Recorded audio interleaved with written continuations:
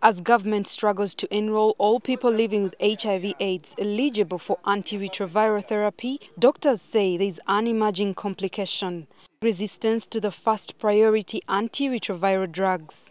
Although there are no national figures to show the extent of the problem, a few centers have received people with resistance to ARVs. There's a lot of, of resistance because of poor adherence and poor coherence to drugs. That is the number one problem we see.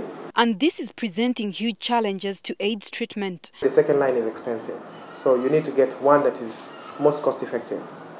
Number two, we do not have enough funding and resources to monitor the patients.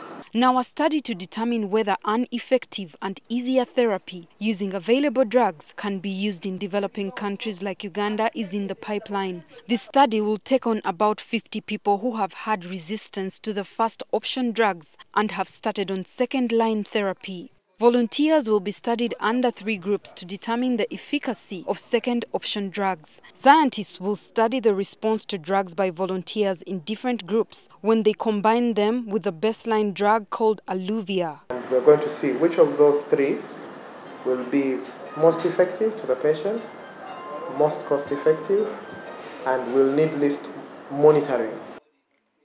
These scientists say the best initiative is to ensure that people on treatment do not become resistant to the first option drugs, which are the most effective by guaranteeing constant supply of antiretroviral drugs, especially in public health centers, so that those on treatment do not miss their daily doses.